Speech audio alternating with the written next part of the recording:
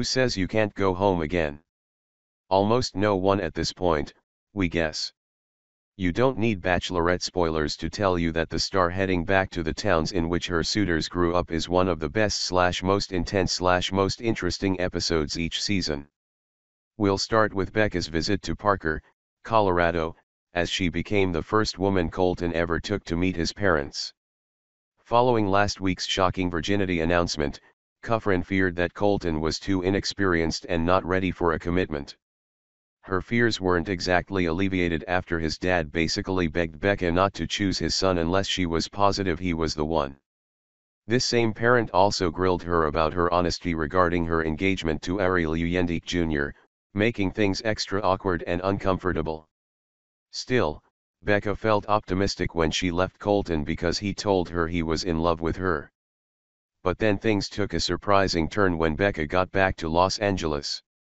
With ABC apparently aware that most viewers have found the season very boring, producers asked Tia pulled Becca aside and confessed that she still had feelings for Colton. Despite having previously told Kufrin that she and Colton scarcely went on a couple dates, Tia now claimed it made her nauseous to think of her quasi-ex receiving Becca's final rose.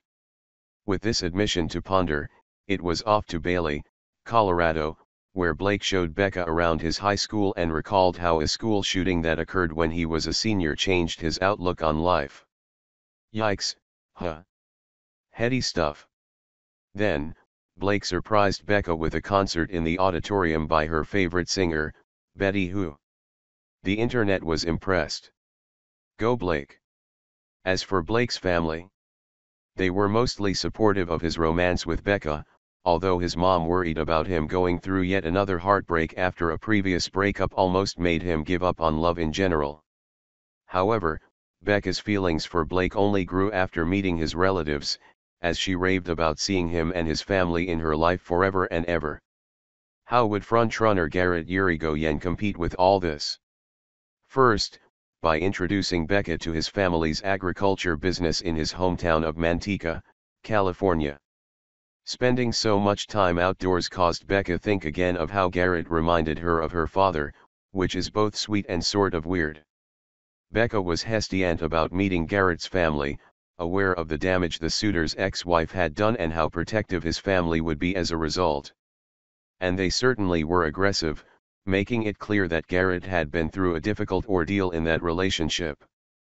The Bachelorette Final for 2018.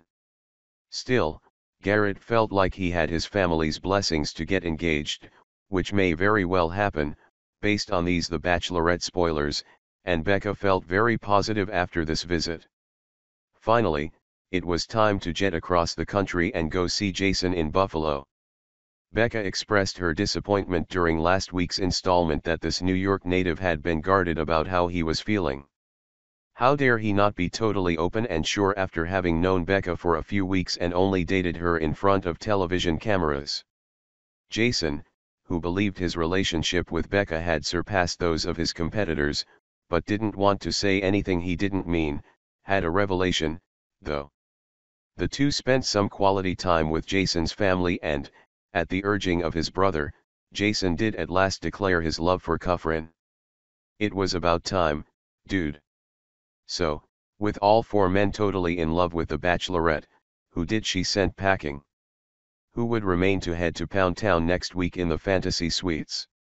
Considering Tia's confession earlier, and how Colton actually asked Chris Harrison whether sex in said suite was mandatory, Becca had no choice. Citing his dad's request as the reason why she couldn't take him any further, Kufrin refused to take Colton's V-card or to take him any further on her journey. Underwood did not get a rose. Jason, Blake, and Garrett did. Who will win it all?